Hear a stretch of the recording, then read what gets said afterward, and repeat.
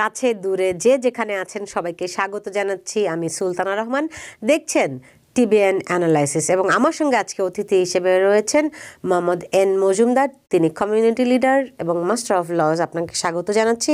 আমরা জানি ইমিগ্রেশনের অনেক আপডেট রয়েছে এবং সাধারণত আমরা আজ আমাদের এই অনুষ্ঠানে যে আলোচনাগুলো করি যে কীভাবে আসলে ইমিগ্রেশনের বিভিন্ন পর্যায়ে ইমিগ্রেন্ট হওয়া যায় প্রসেসগুলো কি, কীভাবে স্পাউস ভিসা পাওয়া যায়, কীভাবে সাধারণ গ্রিন কার্ড পাওয়া যায়, এরকম ইমিগ্রেশন, ইমিগ্রেন্ট হওয়া যায় কীভাবে, আমরা মূলত সেদিকেই ফোকাস করি। কিন্তু আজকে আমরা ঠিক উল্টোভাবে দেখতে চাই। যদি আপনি ইমিগ্রেন্ট হয়ে থাকেন, যদি আপনি গ্রিন কার্ড পেয়ে থাকেন সেক্ষেত্রে কী কি করলে আপনার গ্রিন কার্ডটি বাতিল হয়ে যেতে পারে। এই বিষয়টি আমার মনে হয় আমাদের অনেকেরই জানা খুব জরুরি। এর বাইরে এর বাইরে আমরা আজকে আলোচনা করব যে প্রেসিডেন্ট বাইডেন তার সরকার, প্রশাসন আসলে বর্ডারে ইমিগ্রান্টদের নিয়ে রীতিমতো হিমশিম খাচ্ছেন। সেখানে হোয়াইট হাউস রীতিমতো দুশ্চিন্তাগ্রস্ত হয়ে পড়েছে। কীভাবে এই বিপুল সংখ্যক মানুষকে, অভিবাসীকে তারা সামাল দেবে, এ নিয়েও বিস্তারিত আপডেট থাকবে। মোহাম্মদ এন মজুমদার, আপনাকে আরও একবার আমি স্বাগত জানাচ্ছি। প্রথমে যদি বলতেন যে ইমিগ্রেশনের ক্ষেত্রে আমরা জানি বড় ধরনের একটা পরিবর্তন কিংবা ইমিগ্রেশন অভিবাসী বিরোধী আমরা যাকে বলি, এরকম একটি অবস্থান ছিল সাবেক প্রেসিডেন্ট ডোনাল্ড ট্রাম্পের। এখন যেভাবে করে অভিবাসীদের সংখ্যা সংখ্যা সীমান্তগুলোতে বাড়ছে, তাতে করে হোয়াইট হাউস খুবই দুশ্চিন্তাগ্রস্ত হয়ে পড়েছে। এই ব্যাপারটি যদি বলতেন যে আমরা কি আসলে আবার ট্রাম্পের আমলের মতো কড়াকড়ির দিকে যাবে কিনা? সুলতানা আপা একটা অত্যন্ত একটা জনগুরুত্বপূর্ণ বিষয় এবং আমেরিকান জনগণ বিশেষ করে ইমিগ্রেন্ট গোষ্ঠী এই এই বিষয়ে অবগত হওয়া অত্যন্ত জরুরি বলে আমি মনে করি। তাহলে শুরু করি। আর্টিকেল ফর্টি টু রাষ্ট্রের সংবিধানের আর্টিকেল ফর্টি টু সাময়িক কালের জন্য কিছু কিছু বিধান ট্রাম্প আমলে স্থগিত ছিল। যেমন, সীমান্ত এসেই যে কেউ যুক্তরাষ্ট্রে আশ্রয় প্রার্থনা করত এবং অ্যাসাইলাম প্রার্থনা করতে পারত। এই প্রভিশনটা ট্রাম আমলে ট্রাম স্থগিত করেছিল। এর ফলে বহির্বিশ্ব থেকে বিশেষ করে মেক্সিকো সীমান্তে লক্ষ লক্ষ লোক এখানে ঢুকার সুযোগ পায় নাই। তো বাইডেন অ্যাডমিনিস্ট্রেশন তার বিপরীত পদক্ষেপ নিচ্ছে। বাইডেন অ্যাডমিনিস্ট্রেশন সেটা লিভ করতেছেন মে থেকে। অর্থাৎ সীমান্তে এসে যে কেউ রাজনৈতিক আশ্রয় চাইতে পারবে। এবং তাকে অ্যান্টি ইস্যু করা হবে। তাকে ডিও ফসেস অফ ল যেটা সাংবিধানিক অধিকার, যুক্তরাষ্ট্রের সাংবিধানিক অধিকার, এই সেই ডিও ফসেস অফ ল দেওয়া হবে। সো এটার পক্ষে যারা আর্গুমেন্ট করবে, তারা হচ্ছে যুক্তরাষ্ট্র উদার রাষ্ট্র ইয়ে of into to the world to welcome everyone পৃথিবীর নির্যাতিত, নিপীড়িত, খেটে হওয়া মানুষকে আমাদের, আমরা আশ্রয় দেব। Great thing good thing but এটা অপোজিট পার্টি অপোনেন্ট যারা, তাদের যুক্তি হচ্ছে if you leave it open like this lakh lakh মানুষ বিনা আনভ্যাকসিনেটেড চোর ডাকায় সন্ত্রাসী কোনো চেক করা ছাড়া প্রত্যেকটা লোক এখানে ঢুকে যাবে এর রেজাল্ট আমাদের যে ইকোনমিক ইকোনমির উপর একটা হিউজ বার্ডেন সৃষ্টি হবে, চাপ সৃষ্টি হবে জনসংখ্যা চাপ সৃষ্টি হবে, অর্থনৈতিক সেফটি সিকিউরিটি আর আর ফেসিং ইন ডেঞ্জার সেটা হচ্ছে রিপাবলিকান দলীয়, অর্থাৎ যারা কিছুটা কঠোরপন্থী, তারা ওইভাবে এটাকে অ্যানালাইসিস করবেন। তো যেভাবে হোক, যেটা আপনি বলছিলেন, যেভাবে জনগণকে যদি বুঝতে হয়, সেটা হচ্ছে ট্রাম্প আমলের আর্টিকেল ফর্টি টু দিয়ে স্থগিত ছিল, সেটা পুনঃবহাল করছেন Biden administration as a result lakh lakh মানুষ সেটা বৈধ হোক, অবৈধ হোক, কারণে হোক, অকারণে হোক, মানুষ এটা অ্যাডভান্টেজ নিবে। মানুষ এখানে ঢুকবে। Let's see what have and how আমাদের আমাদের আইন ফনেতারা আমাদের রাষ্ট্রপ্রধানেরা এটাকে হ্যান্ডেল করবে, সেটা এখন আমাদের দেখার বিষয়। সত্য এটা একটা খাওয়ার একে তো আমাদের এখানে যুদ্ধের সাথে আমরা ডিল করতে হচ্ছে করোনার সাথে ডিল করতে হচ্ছে এখন যদি আবার ইমিগ্রেন্টের ইস্যুটা নিয়ে আসে, সেটা জানি না কোন দিকে যাবে। যদিও বাইরে অ্যাডমিনিস্ট্রেশনের ফর্মিস ছিল ফ্রম বিগিনিং ইমিগ্রেশনকে রিস্ট্রাকচার করবে, পুনর্গঠন করবে, এবং এটা জনবল জনবল এবং অর্থ দুটি বৃদ্ধি করবে এতে করে ইমিগ্রেশনের স্পিড আসবে। এবং মিস্ত্রি কীভাবে আসবে? কত লোক সে নিয়োগ করবে? যদি লক্ষ লক্ষ লোক সীমান্তে ঢুকে যায়, সেটাও এখন, আহ, ভেবে দেখার বিষয়। জি জি কিন্তু আমরা দেখছি হোয়াইট হাউস খুবই দুশ্চিন্তাগ্রস্ত হয়ে পড়েছে কারণ স্রোতের মতো মানুষ আসছে এবং অনেকেই কিন্তু এটিকে ভালো চোখে দেখছে না কারণ সীমান্ত নীতিটি খুব গুরুত্বপূর্ণ। যদি কেউ অবাধে প্রবেশ করার সুযোগ পায় যদি মনে করে যে না সেখানে বর্ডারে গিয়ে পৌঁছতে পারলেই হলো আমি আমার কাগজপত্র থাকুক না থাকুক আহ, সত্য মিথ্যা মিলিয়ে আমি প্রবেশ করতে পারব। আবার এই সুযোগে অনেক অপরাধীও প্রবেশ করতে পারে যেমনটি আসলে অনেকে অভিযোগ করেন। তো এটি তো কোনো দেশের জন্য ভালো কথা সেই অর্থে নয়ও। sure. I, I fully agree এটা total total total blank check দিয়ে দেওয়া। এটা এটা কোনো ক্রমেই ভালো নাই। তবে এটার যে বাইরের অ্যাডমিনিস্ট্রেশন পক্ষ থেকে তারা যুক্তি দিবে যে না আমরা তাদেরকে তো ফ্রি চেক দিচ্ছি না। তাদেরকে এনটিএ দেওয়া হবে। এনটি অর্থাৎ নোটিশ টু অ্যাপিয়ার এখন নোটিশ টু অ্যাপিয়ার অর্থ হচ্ছে তাকে আহ, রাজনৈতিক আশ্রয় নেওয়ার সুযোগ দিবে। এবং কোর্টে যাওয়ার সুযোগ দিবে। এই যে সুযোগ করে দিবে, এই লোকটা কত সেই কালীন সেখানে থাকবে সেখানে থাকবে, তাকে গৃহ সংস্থান করতে হবে, তার মেডিকেল ফ্যাসিলিটি দিতে হবে। প্লাস ইমিগ্রেশন জাজের কাজ কাজ বেড়ে যাবে। এতে করে যারা আরও দশ বছর আগে ব্যাকলগ ছিল, ওই কেস দেখবে, তাকে নতুন নবাগত ব্যক্তি, তাকে লিগালাইজ করার জন্য দেখবে। সুতরাং you are hundred percent right I fully agree with you it is এটা একটা মিশ্র প্রতিক্রিয়া এখানে আছে দুই পক্ষেরই। আমরা অবাধ, অবাধভাবে খুলে দেওয়া এইভাবে এটা কোনো কমেই কোনো একটা রাষ্ট্রের জন্য খুব একটি সুখবর নয় বটে। শুধু তাই নয়, শুধু রাষ্ট্রের জন্য নয়, ওই ব্যক্তিদের জন্যও তো আসলে অনেক ঝুঁকি রয়েছে। কারণ যেভাবে করে দুর্গম পথ, ঝুঁকিপূর্ণ পথ পাড়ি দিয়ে তারা আসেন বা আসছেন, এবং শিশুরা যেভাবে করে একটা দুঃসহ পরিস্থিতিতে পড়ছে, এগুলো আসলে তাদের জন্য ভালো না। আপনারা দর্শক আমাদের যারা রয়েছেন, যদি কেউ জানেন যে এরকম ঝুঁকিপূর্ণ পথে সীমান্ত দিয়ে প্রবেশ করতে চায়, প্লিজ আপনারা তাদেরকে রিকোয়েস্ট করবেন যাতে করে এতটা ঝুঁকি না নেয়। কারণ কারণ এই দেশে অভিবাসী হওয়ার অসংখ্য দরজা খোলা রয়েছে, অসংখ্য উপায় রয়েছে।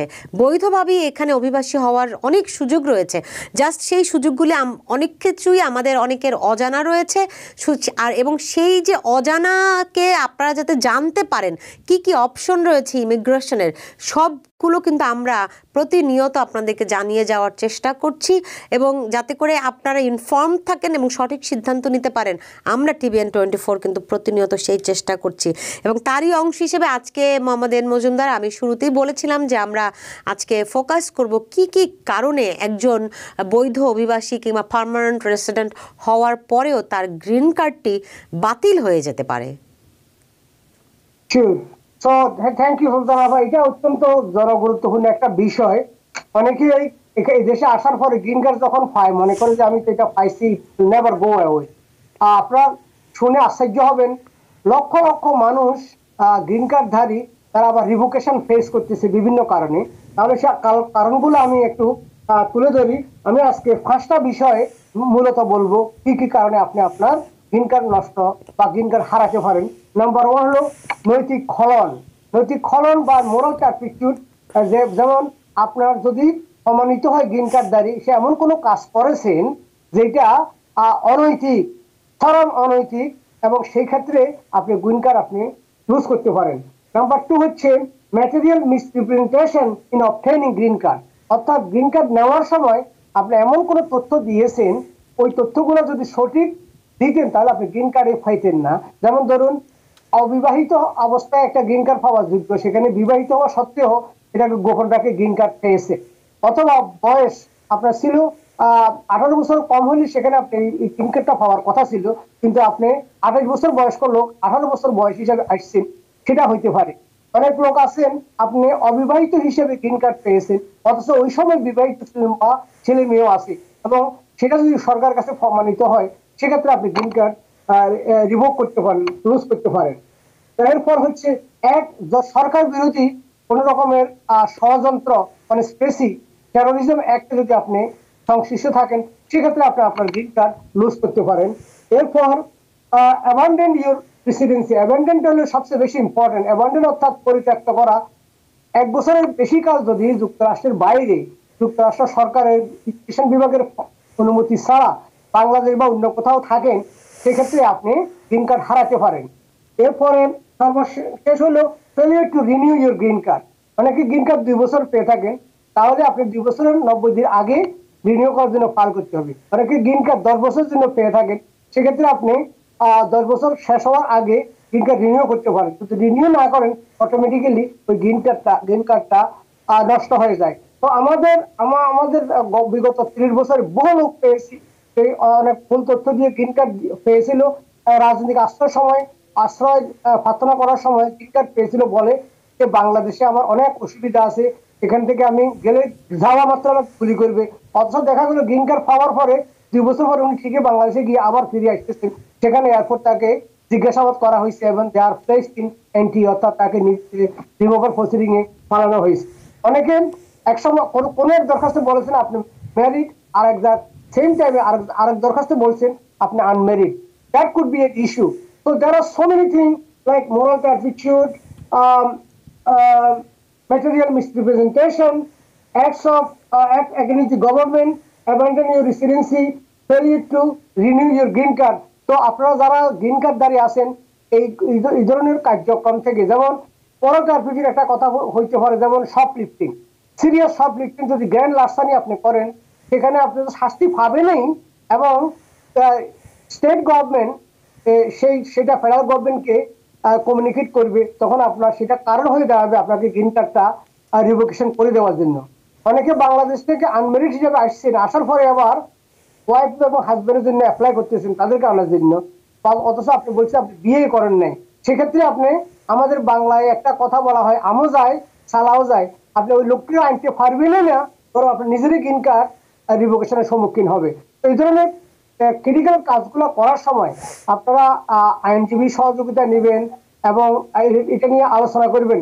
একটা কথা আমি অলওয়েজ বলতে চাই, অনেক সময় আমাদের লোকেরা ভুল পিটিশন ফাইল করিয়া রং করিয়া অনেক ক্ষতির সম্মুখীন হয়। তখন অনেক টাকা পয়সাও তারা খরচ করতে রাজি থাকে এটাকে কিউর করার জন্য, সংশোধন করার জন্য। অথচ আমি অলওয়েজ বলি prevention is better than cure এই জন্য কোনো সমস্যা যদি না হয়, এই জন্য স্টেপ যারা নিচ্ছেন তারা আইনজীবী সহযোগিতা নেবেন। আইনটা হলো ওইরকম, আইন আপনাকে পরিত্রাণ দিতে পারে, ওয়েবার দিতে পারে, ক্ষমা দিতে পারে, আবার এক্সেপশনও তো থাকতে পারে। তো এটা ছিল আমার রিজন ফর রিভোকেশন অথবা সাসপেনশন অথবা লুজিং ইউর গ্রিন কার্ড জি বুঝতে পেরেছি। যদি কারোর গ্রিন কার্ড সাসপেন্ড হয়ে যায় সেক্ষেত্রে তার পুনরায় আবেদন করা ক্লারিফাই করা এগুলির সুযোগ থাকছে কিনা এই প্রশ্নটা আপনার কাছে থাকল। আমি একটু যেতে চাই দর্শকদের কাছে। টেলিফোনে দর্শক কে রয়েছেন? নাম পরিচয় বলে প্রশ্ন করুন। আম, আমি আজিব আমার মেরিল্যান্ড থেকে বলছি আমি আমার আম্মুর জন্য ফোন দিচ্ছি কারণ আমার আম্মু আমার নানুর জন্য ওয়ান আমি I one thirty form fill up করছে আর একটা সমস্যা আছে আমার নানুর পাসপোর্টের মধ্যে। তিনবার বার এটা ঠিক হয়েছে। আমরা এই পাসপোর্টটা যে প্রবলেমটা এটা কীভাবে আপডেট করব? জি মোহাম্মদ এন মজুমদার আপনি কি প্রশ্নটি বুঝতে পেরেছেন? হয়। জি উনি ওনার মা তার মার জন্য মানে নানুর জন্য তিনি আই ওয়ান থার্টি ফাইল করেছেন। তিনবারের বার তারা সফল হতে পেরেছেন। তাই তো? হ্যাঁ। জি এখন তাহলে প্রশ্নটি হচ্ছে যে আর কি করতে পারেন রাইট তো সফল কথা আমার পাসপোর্ট নাম্বারটা আমি কীভাবে ও পাসপোর্ট নাম্বারটি কীভাবে এখন আপলোড করবেন?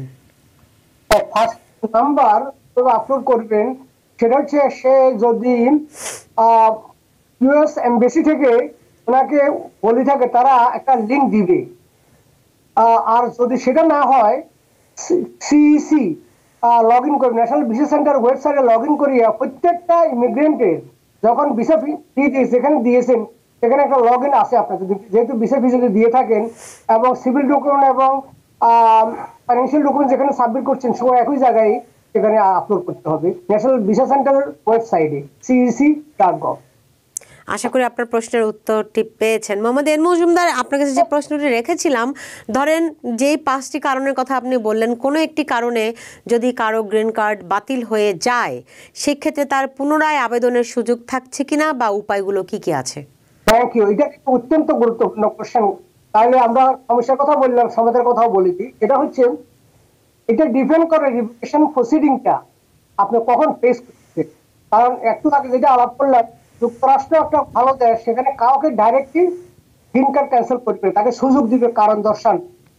অর্ডার টু শো যেটাকে বলা হয়, অথবা এনটিএ যেটাকে বলা হয় order notice to appear before a জাজ তো সেখানে আপনার সুযোগ থাকে ক্যান্সেলেশন যেটাকে বলা হয় ক্যান্সেলেশন অফ রিমুভাল যখন গ্রিন কার্ড ক্যান্সেল শুরু হয়, সেটাকে বলা হয় রিভোকেশন প্রসেস বা প্রসিডিং ওই প্রসিডিংটা স্টপ করার জন্য যে প্রসিডিং বলা হয়, সেটাকে বলে ক্যান্সেলেশন অফ রিমুভাল এবং সেই cancellation of removal forty two A এবং ফর্টি টু বি মোতাবেক করতে হয় এবং আপনার যদি দেখা গেল পাঁচ বছর পর্যন্ত ওই ওই গ্রিন কার্ডটা আপনার ছিল, সেক্ষেত্রে আপনার গ্রিন কার্ডটা ছিনিয়ে নেওয়া অলমোস্ট ইম্পসিবল কারণ লাস্ট ফাইভ ইয়ার আপনার গ্রিন কার্ড অবৈধভাবে নিয়ে থাকলেও কিন্তু গ্রিন কার্ডের পরিপন্থী কোনো কাজ আপনি করেন নাই। সেক্ষেত্রে আপনার গ্রিন কার্ডটা পুনরুদ্ধায় আপনি পেতে পারেন এবং আমরা এরকম কেস পেয়েছি তারা এয়ারপোর্টে তার গ্রিন কার্ডটা তাকে দিয়ে বলছে, কোর্টে যাওয়ার জন্য। এবং কোর্টে গিয়া আমরা তার পক্ষে মামলা করিয়া তাকে আবার গ্রিন কার্ডটা ফেরত দিয়েছি। দ্যাট পসিবল এটা ডিপেন্ড করে আন্ডার হোয়াট সার্কমস্টেন্সেস কি বিষয়ে যদি আপনি জাজকে সন্তুষ্ট করতে পারেন যে যে কারণে আপনি মিথ্যা তথ্য দিয়েছেন, এটা ম্যাটেরিয়াল না, এটা রাষ্ট্রবিরোধী কিছু না এবং ওই ওই কাজের ফলে রাষ্ট্রের কোনো ক্ষতি হয় নাই। এবং আপনাকে বাংলাদেশের বিতাড়িত করলে রাষ্ট্র কোনো প্রকার উপকৃত হবে না বরং রাষ্ট্র ক্ষতিগ্রস্ত হবে অথবা কোনো এফেক্ট হবে না। সেক্ষেত্রে ইমিগ্রেশন জাস্ট আউটওয়েট বলা হয়। আপনাকে দেশে ফাটিয়ে দেওয়া এবং না দেওয়ার ভিতরে সরকারের বেনিফিট কতটুকু আছে বা নাই, সেক্ষেত্রে আপনাকে only just can just can use discretionary power এবং গ্রিন কার্ডটা আপনাকে ফেরত দিতে পারে। তো এবং আরেকটা দেখা গেল, আপনি আর্ম রবারি করলেন। গ্রিন কার্ডধারী হইয়া একজন আর্ম রবারি করলেন একজনকে হত্যা করলেন সেক্ষেত্রে it will be almost impossible to get it back এবং দ্যার ইজ গুড পসিবিলিটি আপনাকে বাংলাদেশে ফেরত দেওয়া হবে because your uh, your your nature and severity of your crime is so severe, so bad, so outrageous. Uh, uh, uh, just cannot accept you you back in this অর্থাৎ আপনার এই অপরাধটা এত জঘন্য এত মারাত্মক এত হিংসাত্মক যে আপনি টু ডেঞ্জারাস অত্যন্ত বিপজ্জনক একজন ব্যক্তি। আপনাকে ওই গ্রিন কার্ড রাখি দিয়া ফেরত দেওয়া হবে। There is so much revocation so much deportation ওই ধরনের লোকদের জন্য। তো আশা করি আমি আপনাকে বুঝাতে পারি বুঝতে তো পেরেছি কিন্তু প্রশ্ন আরও অনেক তৈরি হয়ে গেছে। সেই সব প্রশ্নে যাওয়ার আগে কারণ যদি কেউ ধরেন অনেক সময় দেখা যায় যে আমাদের আমাদের অনেকেই এই প্রশ্নটি করেন যে কেউ যদি একটা বাসের ট্রেনের টিকিট পায় হ্যাঁ সেক্ষেত্রে তার গ্রিন কার্ড বাতিল হবে কিনা? এই প্রশ্নটা আমাদের অনেকেরই কমন আছে এই প্রশ্নটি থাকবে এবং নৈতিক স্খলনজনিত আরও বেশ কিছু প্রশ্ন আপনার কাছে থাকবে আমার। আমি একটু দর্শকদের কাছে যেতে চাই টেলিফোনে দর্শক কে রয়েছেন? আসসালামু আলাইকুম। ওয়ালাইকুম আসসালাম বলুন। আমার নাম কবির। আমার একটা প্রশ্ন হলো আমি আমার ভাই বোনের জন্য অ্যাপ্লাই করছিলাম। সেখানে অ্যাপ্রুভাল লেটার যখন আসছিল তো একটা লেটারের অ্যাড্রেস ভুল ছিল এটা রিটার্ন গেছে। রিটার্ন যাওয়ার পরে আমি আবার পরে কল করে এটাকে আবার পাঠানোর পরে ওরা আমাকে আবার অ্যাপ্রুভাল লেটারটা পাঠিয়ে দিচ্ছে কিন্তু আমি যখন অনলাইনে চেক করি তখন দেখি যে এটা মেইল ডেলিভার্ড হয় না এরকমটা দেখাচ্ছে। তো এখন কি আমার কোনো কিছু করার দরকার আছে? নাকি আমার আমি এভাবেই থাকব? কারণ আমার কাছে অ্যাপ্রুভাল লেটার আছে। জি অনেক ধন্যবাদ। মোহাম্মদ অত্যন্ত গুরুত্বপূর্ণ আহ, অনেক ক্ষেত্রে যেমন ড্রাফট শিট বলা হয় ওখানে লেখা থাকে একটা আনডেলিভার্ড ছিল এটাও লেখা থাকে। আবার অ্যাপ্রুভাল সেটাও লেখা থাকে। সুতরাং আপনার হাতে যেহেতু অ্যাপ্রুভাল নোটিশ আছে you'll be you'll be fine. Immigration যে কি পরিমাণ ভুল করে, এটা অনেক সময় দেখা গেল, আমরা আর এডিশনাল ডকুমেন্ট পাঠাতে বলছি। আমরা ডকুমেন্ট পাঠানোর আগে তারা আবার অ্যাপ্রুভালও পাঠাই দিচ্ছে কারণ আর ইস্যু হয়েছিল রংলি তো আপনার ক্ষেত্রে আমি মনে করি আপনি আমি ভেরি ভেরি শিওর আমার খুব অভিজ্ঞতা থেকে বলতেছি, আপনি ফাইন বাট স্টিল আপনার যদি আপনার মত ভিতরে হেজিটেশন থাকে পার্সোনালি কোনো লয়ের সাথে আপনি আপনার ফাইলটা দেখাই ধন্যবাদ জি আশা করি আপনার প্রশ্নের উত্তর পেয়েছেন। মোহাম্মদ এন মজুমদার যে প্রশ্নটি রেখেছিলাম আপনাকে যে কেউ যদি ধরেন একটা বাসে টিকিটে আপনারা জানেন যে বিশেষ করে নিউ ইয়র্কে টিকিট পায় অনেকেই সেক্ষেত্রে এটি তার গ্রিন কার্ডের ক্ষেত্রে ইম্প্যাক্ট রাখতে পারে কিনা? আমরা জানি যে সিটিজেনশিপের ক্ষেত্রে হয়তো এটি গ্রিন কার্ড থেকে যখন সিটিজেনশিপের জন্য আবেদন করে তখন নাকি এটি আহ, কোনো ভূমিকা রাখে? এরকমটি অনেক সময় শোনা যায়। আসলে বিষয়টি কি? সিটিজেনশিপের সময় কথাই আগে বলি, যখন সিটিজেন জন্য অ্যাপ্লাই করবেন, এই ভায়োলেশনগুলা, এর নিষ্পত্তি হয়েছে, অর্থাৎ একশো টাকা জরিমানা দিয়েছেন এটা খুব যদি থাকে, আপনার কোনো অসুবিধা নাই। যেমন, আপনি সামান্য একটা অপরাধ করছেন, সেই অপরাধের গিলটি স্বীকার করিয়া পঞ্চাশ টাকা জরিমানা দিচ্ছেন ডিসপোজিশন রেকর্ড যদি থাকে তাদের সিটিজেন পেতে কোনো অসুবিধা হবে না। আমি যদি একটা, একটা- একটুখানি সময় নিই। যেমন ছুরি, ছুরিকে আপনি প্রথমত দুই ভাগে ভাগ করতে পারবেন, একটা হলো ফিটি লার্সানি একটা হলো গ্র্যান্ড লার্সানি এখন নিউ ইয়র্ক স্টেট ল হচ্ছে, এক হাজার টাকার বেশি যদি কোনো চুরির অপরাধে আপনি অভিযুক্ত হয় এবং শাস্তি হন, এটাকে বলে গ্র্যান্ড লার্সানি এক হাজার টাকার কম যদি চুরির অপরাধে আপনি অভিযুক্ত বা শাস্তি পেয়ে থাকেন, সেটা বলে ফ্রিডি লার্সানি আবার অপরাধও ছোটখাটো অপরাধ, যেমন বাস স্ট্যান্ডে টিকিট খেয়েছেন, কোথাও প্রস্রাব করেছেন ফকেশ্বর দিবালোকে, ড্রিঙ্ক করেছেন, মদ খেয়েছেন, বা মোটর ভেহিকেলের ভায়োলেশন পেয়েছেন, এই ধরনের জন্য আপনার গ্রিন কার্ড গ্রিন কার্ড বাতিল হবে না এবং এবং রিভোকেশনের প্রসিডিংও এনটিও আপনাকে দিবে না। কারণ প্রত্যেকটি ছোটখাটো অপরাধ যদি আমলে নেওয়া হয় তাহলে এখানে লক্ষ লক্ষ জাজ লক্ষ লক্ষ সৈনিক নিয়োগ করিয়া জনগণকে করা যাবে না। কারণ অনেকগুলো আইন আছে সুপ্ত থাকে অনেকগুলো স্মল অপরাধকে ওভারলুক করা হয়। যারা এরা তো আমি এনকারেজ করতেছি না আপনি এখন প্রস্তাব যেখানে সেখানে করেন বিনা টিকিটে গাড়িতে উঠে যান মহিলার সাথে কোনো রকম ফষ্টি নষ্টি করেন এগুলো এভরিথিং ইজ অনৈতিক but the law is fair fair হচ্ছে, ছোটখাটো একটা জিনিস করছে ওটার জন্য তাকে একটা সিরিয়াসলি কনসিকুয়েন্স দিতে হবে না। কনসিকুয়েন্সটা অতটুকুই হবে, যতটুকু অপরাধ। এটা যুক্তরাষ্ট্র, যেটা অলওয়েজ আমি বলি the best part of the world আইন এখানে এত ভালো আইন, অপরাধের জন্য আইন আছে, ভালো লোকের জন্য আইন আছে, এবং fair equal Mohammad N Majumdar কিন্তু আমি একজন আমার যতদূর মনে আছে একজন অ্যাটর্নি বলেছিলেন যে একই ধরনের অপরাধ যদি বারবার করে সেই ক্ষেত্রে এটি নট গুড মোরাল এরকম কোনো অভিযোগ এনে সিটিজেনশিপ নাও দেয়া হতে পারে এটা কি সত্য? আর আমি আপনি যে আধা ঘণ্টা কত কথা বলবেন আইন বলছি একটা হলো আইন আইনের ব্যতিক্রম ব্যতিক্রমেরও ব্যতিক্রম ব্যতিক্রমেরও ব্যতিক্রম থাকে। যেমন দেখা গেল আপনি একদিন মেসিতে চুরি করলেন দশ ডলারে ঠিক আছে ফার্স্ট টাইম ফার্স্ট টাইম চুরি করছে, এটা ঠিক আছে। রাজও মাফ করে দিল, আইনও মাফ করে ঠিক আছে। আর দেখা গেল এই বছরে, এক বছরে ষোলোবার আপনি ধরা খাইছেন বিভিন্ন জায়গায়। দ্যাট মিন আপনি হলেন অভ্যাসগতভাবে সোর আর যেমন মদ খাইলেন, একবার খাইলেন দুবার খাইলেন সবসময় যদি আপনার কাছে মদের অপরাধ ধরা হয়, এটা বলে হেবিচুয়াল ড্যাঙ্কার হেবিচুয়াল কি তো সেক্ষেত্রে হলো সেটাতে আইনের বিধান হলো ভিন্ন। এই যে আজকে দেখেন আমরা বেল রিফর্ম নিয়ে কথা বলতেছি। বেল রিফর্মের ফলে এমন একটা আইন করা হয়েছে তুমি যতবারই একজনকে ধাক্কা দাও, ঘুষি দাও, তারপরে বা তুমি বেল পেয়ে যাচ্ছ। এই ধরনের এবং এবং যারা বেল রিফর্মের বিপক্ষে আমরা যারা কথা বলছি bail reform is good thing বা জাজকেও ডিসক্রিপশন দিতে হবে, ঠিক আছে, বেল দিয়ে দাও। তবে যে ব্যক্তিরা দ্বিতীয়বার অন্যায় করতেছে, তৃতীয়বার অন্যায় করতেছে তো একজন একদিন একজনকে থাপড় দিছে, আরেকজন ঘুষি দিছে আরেকদিন ছুরি দিয়ে আঘাত করতেছে। ওই লোক কিন্তু চতুর্থবারের মতো একদম হত্যা করতে দ্বিধাবোধ করবে না। সুতরাং তাকে চতুর্থবারের মতো সুযোগ দেওয়া বেল রিফর্মে ঠিক হয় নাই এবং সেটা জাজকে ধরে ডিসক্রিপশন দেওয়া হয় under first circumstances he can get bail under first circumstances he can not get the bail কারণ ব্রিটিশ আইন ব্যবস্থায় আছে ডিসক্রিপশনারি পাওয়ার অফ দি জাজ জাজ যদি মনে করে এই এই লোকটা হারামি, এই লোকটা ডেঞ্জারাস ফর দি সোসাইটি সে একবার রেড করছে। তাকে আবারও সাই দিলেন। The rule is that you do again কারণ সুরের সুচ্ছ বৃত্তি কখনো বন্ধ হয় না। আমরা যারা ক্রিমিনোলজি আপনি, একটু যদি সময় থাকে আমি বলি, দেখা গেছে এক জায়গায় একটা ইতিহাস পড়তেছিলাম একজন লোক যারা তিনবার জেল খাটতেছে জেল খাটতেছে তিন বছরের জন্য চুরির অপরাধে।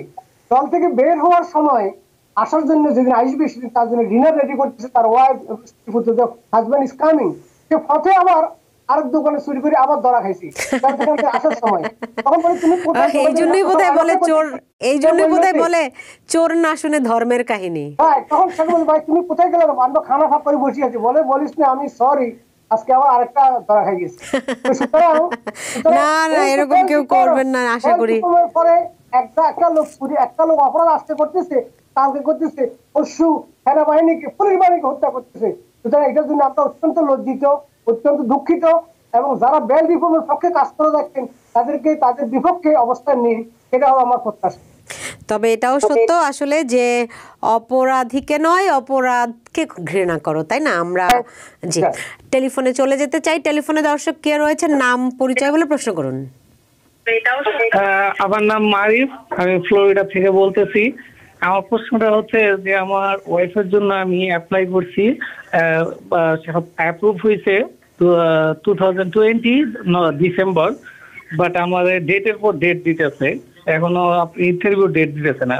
এখন কি আমার কিছু করার আছে নি?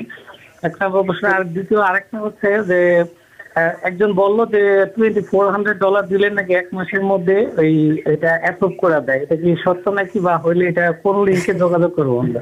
জি অনেক ধন্যবাদ. দুটো কোশ্চেনে কিন্তু ইম্পর্টেন্ট হাজার হাজার লোক ওয়েট করতেছে ভিসা ইন্টারভিউর জন্য।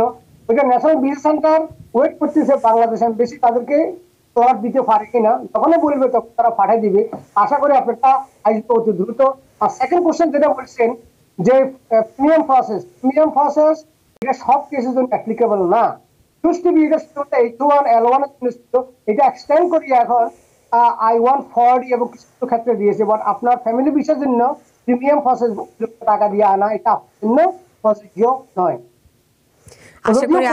বাংলা পত্রিকায় বাংলা ভাষার পত্রিকায় এটা ঢালাওভাবে লিখে দিয়েছে এটা ঠিক নাই কারণ এইটা মানুষকে কনফিউজ করা হয়। আর যদি আপনি রেজিস্ট্রেশন যেটা আইন সেটা নিউজ মেইন নিউজ যদি আপনি পুরোপুরি ভালোভাবে পেশ করতে না পারেন সেই নিউজটা না দেওয়াই ভালো আমি ওই প্রত্যেকদিন কল পাই তাই ফাফার তো লিখছি আহ, টাকা বেশি দিলে লোক আনা যাবে বেশি তাড়াতাড়ি আনা যাবে That's not true. স্পেসিফিক কিছু কিছু কেসের জন্য অনলি বিজনেস এডুকেশনের জন্য not for family education right তবে এটি এটি জানা থাকা অনেকের উপকারে কাজে লাগে। ধরেন কারও যদি জরুরি পরিস্থিতি থাকে সেই ক্ষেত্রে কিন্তু তারা এক্সপেডাইট করতে পারে এবং সেই জরুরি পরিস্থিতিটি তাকে এক্সপ্লেন করতে হবে। হ্যাঁ সেটার জন্য আপনার থ্যাংক ইউ এটা তোলার জন্য।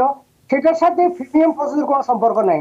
টাকা বেশি টাকা বেশি লাগবে। সেখানে আপনাকে প্রমাণ করতে হবে যে আপনার ওই ভদ্রলোক বা ভদ্র মহিলাকে এখানে আনা অত্যন্ত জরুরি। যেমন আমি আপনি আবেদনকারী আপনি মনুষ্য রোগী, আপনি এনি টাইম মারা যাইতে পারেন বা সিভিয়ার রোগ রোগ আছে আপনার, সেক্ষেত্রে আপনার স্বামী আসে আপনাকে থাকলে আপনার ছেলে মেয়ে রক্ষক, ছেলে মেয়ের সান্ত্বনা দিতে পারবে, আপনাকে হেল্প করতে পারবে। That could be one scenario another scenario could be অনেক অনেক ছেলে মেয়ে যারা এইজ আউট হয়ে যাইতেছে ডিলের কারণে। That could be a matter আমরা রিসেন্টলি কয়েকটা কেস সফল হয়েছি। এখানে মেডিকেল সিরিয়াস মেডিকেল ব্যাকগ্রাউন্ড দিয়েছে যে আবেদনকারী, আবেদনকারীর গ্র্যান্ড মা রিহেবিলিটেশন সেন্টারে আসে তো তাকে সেখানে ডেলি খাওয়া দাওয়া যাওয়া আসা করার জন্য কেউই নাই। তার গ্র্যান্ডসান যদি ওই ওই ওই ওই ওই মহিলার, মহিলা তার বাচ্চার জন্য অ্যাপ্লাই করছে seventy care that was approve তো আপনাকে এক্সপেন্সিভ সিচুয়েশন যদি থাকে এক্সেপশনাল সিচুয়েশন থাকে এক্সপিডিয়েটেড প্রসেস কাজ করে, এটা ডিপেন্ড করে কেস বাই কেস ঢালাও পাবে না। লক্ষ লক্ষ লোককে লাইনে রাখি, আপনাকে আগে দিয়ে দিবে। That cannot happen so easily এত ইজিলি আপনাকে সেটা দিবে না। সেটার জন্য আপনার সিরিয়াস কজ এন্ড গ্রাউন্ড থাকতে হবে সিরিয়াস মেডিকেল ডকুমেন্টেশন থাকতে হবে সিরিয়াস ডকুমেন্টাল এভিডেন্স থাকতে হবে। তাহলে তিন দিনের ভিতরে আপনাকে এটা অ্যাপ্রুভ হয়। যদি এক্সপেডিটেড প্রসেস শুরু করেন। এটার জন্য গভর্নমেন্ট কোনো ফি নেই শুধুমাত্র আইনজীবীর খরচ যেটা সেটাই। জি দর্শক আশা করি আপনি প্রশ্নের উত্তর একেবারে বিস্তারিতভাবে পেয়েছেন। টেলিফোনে দর্শক কে রয়েছেন? আসসালামু আলাইকুম। ওয়ালাইকুম আসসালাম বলুন। সুলতানা আপা, আমার মজুমদার ভাইয়ের কাছে দুইটা প্রশ্ন আছে। জি বলুন। প্রথম প্রশ্ন হলো আমি সিটিজেনশিপের জন্য গতবার যখন অ্যাপ্লাই করি আমি দুইবার দিচ্ছি অলরেডি আমি দুইবার ফেল করছি। তো প্রশ্ন হলো আমি যদি ফেল করি এরকম আর কতবার পরীক্ষা দিতে পারব? এই হলো আমার একটা প্রশ্ন। আর দ্বিতীয় প্রশ্ন হলো আমি এই সেকেন্ড বার যখন অ্যাপ্লাই করছি তখন আমার এক মাস পরেই ফিঙ্গারে ডেট চলেছে এর আগে আসছিল প্রায় বারো মাস পরে কিন্তু এইবার আসছে এক মাস পরে। এত তাড়াতাড়ি আসলো এটা কি স্বাভাবিক নাকি অস্বাভাবিক? নাকি এটা সেকেন্ড টাইম করার জন্য এত তাড়াতাড়ি আসলো এই আমার ফিঙ্গারপ্রিন্টটা প্রশ্ন আমার। ওকে ওকে আপনি আপনি থাকেন আপনি থাকেন। ধরেন আপনি যে দুবার ফেল করেছেন কি কারণে ফেল করেছেন? আগে সেটি বলুন। আমার স্পিকিং ইংলিশ একবার আর একবার ওই মিস আন্ডারস্ট্যান্ডিং মানে ওই আমি ইংলিশ বুঝি না এই কারণে। ওকে বুঝতে পারছি ইংলিশের সমস্যার জন্য জি। সাধারণত সাধারণত ইতিপূর্বে কিন্তু একবার ফেল করলে ফেল বলা হইতো। ইদানিং বিশেষ করে বাইরের অ্যাডমিনিস্ট্রেশন আসার পরে একবার দুইবার ক্ষেত্রে তিনবারও সুযোগ দেওয়া হয়। আহ, এবং সুযোগ তিনবারও যদি আপনি ফাইল না করেন ফাঁস না করেন দ্বিতীয়বারও ফাঁস না করেন আবার আপিলও আপনি করতে পারেন সেক্ষেত্রে আরও হাইয়ার অফিসার আপনার ইন্টারভিউ নিবে। সেটা একটা। আরেকটা কোশ্চেন হচ্ছে আপনি যদি আহ, কতবার অ্যাপ্লাই করতে পারবেন আপনি যতবার ফাঁস করবেন না ততবার অ্যাপ্লাই করতে পারবেন। অ্যাপ্লাই করতে কোনো বাধা নাই। তবে আরেকটা কথা আপনি যেটা বলতেছেন যে একবার ফিঙ্গারপ্রিন্টেরটা এক মাসে আসলো আর পরবর্তী বারো মাস আরেকবার বারো মাস অপেক্ষা করতে হয়েছে কেন? এটার জন্য আমাদের এক্সপিরিয়েন্স হচ্ছে কোনো কোনো অফিসার যেমন আপনার ফাইলটা যখন লক বক্সে ফাইল করা হয় সেখান থেকে এটা অ্যাসাইন করা হয় বিভিন্ন অফিসারের কাছে। দেখা গেল একটা অফিসার নতুন অফিসার কাজে জয়েন করছি। তাকে যখন কেস অ্যাসাইন করা হলো আজকে সে আজকে ফিঙ্গারপ্রিন্ট ফাটা দিতে পারে তাতে আর- কোনো কেস লোড নাই। আমরা যারা গভর্নমেন্টের কেস ওয়ার্কার হিসেবে আমরা কাজ করছি, আমি প্র্যাকটিক্যালি দেখছি, ধরো আমার সুপারভাইজার আমাকে তিনটা কেস দিছে, ওই তিনটা আমি আজকে করে চলে এসেছি। আমার আরেক কলিগ দেখা গেল, তাকে তিনটা কেস অ্যাসাইন করা হয়েছে সে এক সপ্তাহ ছুটি ছিল পরবর্তী সপ্তাহে আসিয়া আরও তিনটা জমা হয়েছে, সে ভুলে গেছে, তারটা আরও দুই মাস পরে যাওয়া অফিসে এটা ডিপেন্ড করে গভর্নমেন্ট অফিসার উপর, আপনার ভাগ্যের উপরে বাট আপনি যখন অ্যাপ্লাই করবেন ফির আসবেই আগে আসা এবং পরে আসার ভিতরে কোনো আপনাকে ব্যক্তিগত কোনো ফেভারও করে নাই। আর আপনার প্রতি কোনো হিংসাও ছিল না। It it is it happen in the right time or wrong time right place is the wrong place ওইরকমই আর কি। রাইট তবে ইংলিশ শেখার জন্য কিন্তু অনেক রকম অপশন রয়েছে। আপনি জানেন যে নিউ ইয়র্কে প্রত্যেকটা নেইবারহুডে লাইব্রেরি রয়েছে। সেই লাইব্রেরিগুলোতে কিন্তু ইংলিশ শেখার ব্যবস্থা রয়েছে। সেখানে গিয়ে শিখতে পারেন। তবে সবচেয়ে সহজ ভালো বুদ্ধি হচ্ছে নিউজ চ্যানেলগুলো দেখা। সেই সঙ্গে নিজে ইংলিশটা বলা। দেখুন, আমরা অনেক সময় একটু সাই ফিল করি, আমরা একটু লজ্জাবোধ করি যে আমি ইংলিশটা পারি না। ইংলিশ আমাদের মাতৃভাষা না, আমরা অন্য একটা ভাষায় কথা বলার চেষ্টা করছি। এটা খুব সহজ না। সুতরাং আমরা পারি না ভালো করে, কিন্তু আমরা শিখব, আর শেখার জন্য সবচেয়ে বেশি হচ্ছে কি, বেশি করে পড়া এবং বেশি করে শোনা। কানকে রেডি করা এবং আমাদের কথা বলার ধরনটিকের সঙ্গে অভ্যস্ত হওয়া। ফলে এই দুইটা চর্চা যত বেশি করবেন বুঝেন না বুঝেন শুনেন। পারেন না পারেন বলেন। তাহলে দেখবেন অটোমেটিক্যালি আসতে শুরু করবে। যাই হোক টেলিফোনে দর্শক কে রয়েছেন? আচ্ছা মোহাম্মদ এন মজুমদার অনেকে একটি বিষয় জানতে চান যে এফ ফোর ক্যাটাগরি ক্যাটাগরির ভিসার আপডেট কি আছে? মানে ভাই বোনের আবেদনের কেসগুলো ভিসাগুলোর কি অবস্থা? কোনো আপডেট আছে. কিনা?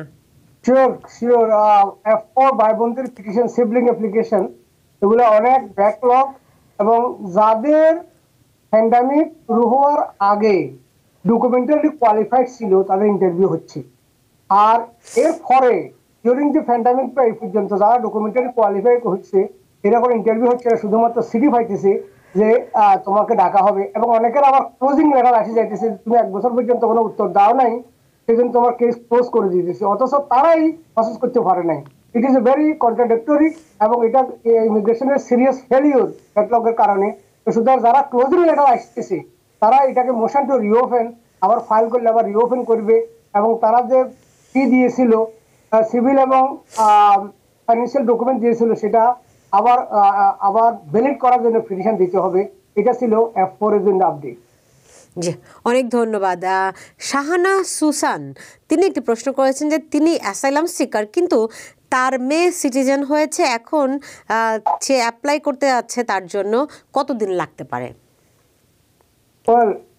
যদি লাইক উনি অ্যাসাইলাম সিকার উনি বিদেশি লিগেলি যদি লিগেলি এসে থাকে অ্যাসাইলাম সিকারদের অনেক আছে লিগেলি আসে নাই তো পড়ার পার হয়ে আসছে তারা কিন্তু আবার এখানে ওই অ্যাডজাস্টমেন্ট স্ট্রেস করতে পারবে না আনলেস দে ওয়েভার অ্যাপ্রুভ তারা যদি উনি লিগেলি এসে থাকে, তার মেয়ে যদি সিটিজেন হয়ে থাকে অ্যাপ্লাই করতে পারবে। বারো থেকে ষোলো মাসের মধ্যে এখানে সে গ্রিন কার্ড পাবে। জি আশা করি আপনার প্রশ্নের উত্তর পেয়েছেন। মরিয়ম মিনা একটি প্রশ্ন করেছেন যে I seven fifty one conditional green কার্ডের কোনো আপডেট আছে কিনা? এখানে আপডেট কিছু নেই। এটা অনেক সুখবর।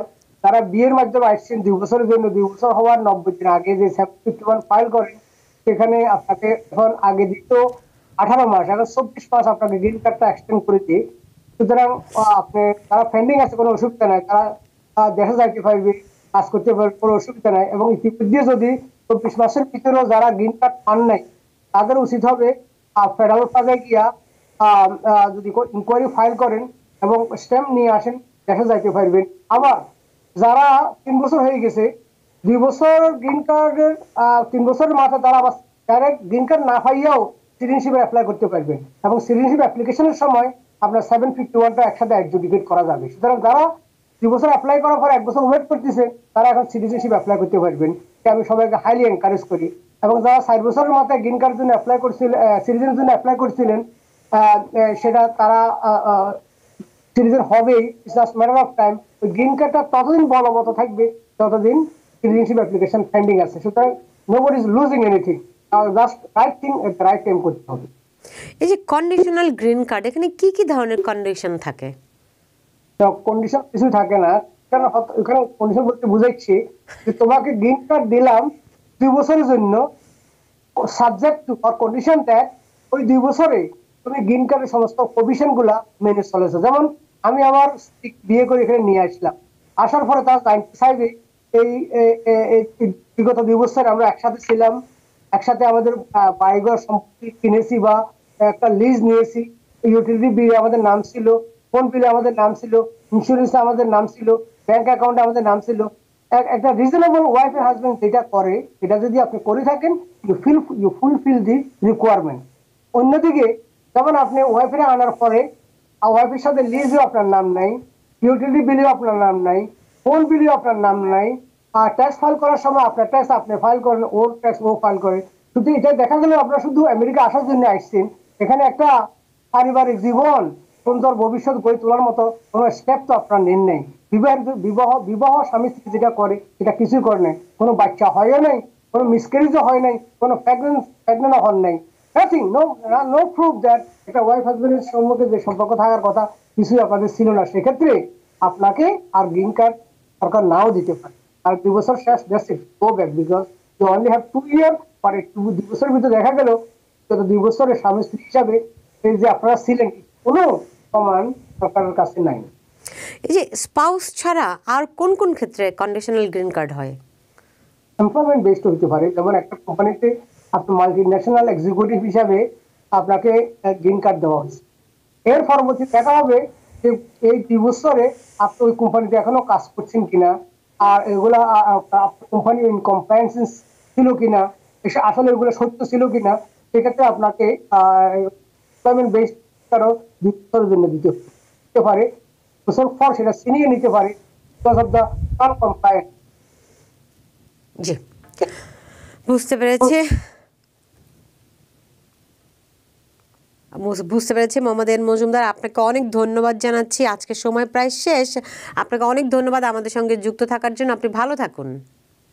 আপনাকে অসংখ্য ধন্যবাদ এবং আমাদের টিভিএন এর সকল দর্শক, শ্রোতা, কলা কৌশল সবাইকে ধন্যবাদ। আপনারা যারা দেখছেন কাইন্ডলি ভালো লাগলে শেয়ার করবেন, যাতে অন্যান্যরা যারা আজকে রাত্রে দেখে নেয় কালকেও দেখতে পারে আমাদের এই শোটা ভালো থাকবে Sultana always you are such a pleasant person to work আপনিও আমাদের টিভিএন পরিবারের একজন খুবই গুরুত্বপূর্ণ। অনেক ধন্যবাদ এবং কৃতজ্ঞতা। আপনি ভালো থাকুন।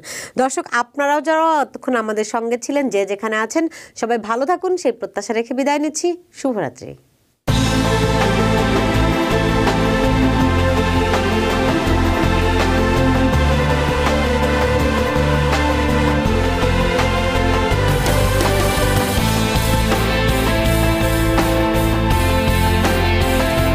টিভিএন টোয়েন্টি ফোর টেলিভিশন দেখতে আজই কল করুন seven one eight triple seven six double five six log in করুন W W W dot total cable BD dot com